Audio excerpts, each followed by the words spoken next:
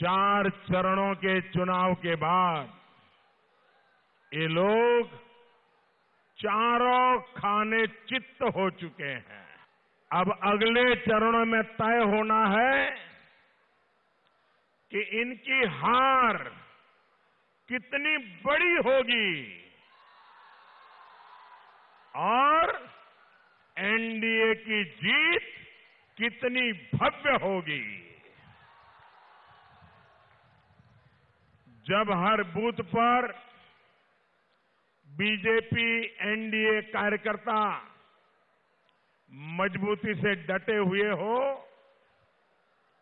जब लोग खुद घरों से बाहर निकलकर अपने इस सेवक का प्रचार कर रहे हो, एनडीए की विजय निश्चित देखकर भी जब हर व्यक्ति उस विजय में अपना योगदान देने के लिए बेताब हो तो समझ सकते हैं कि हवा का रुख किधर है।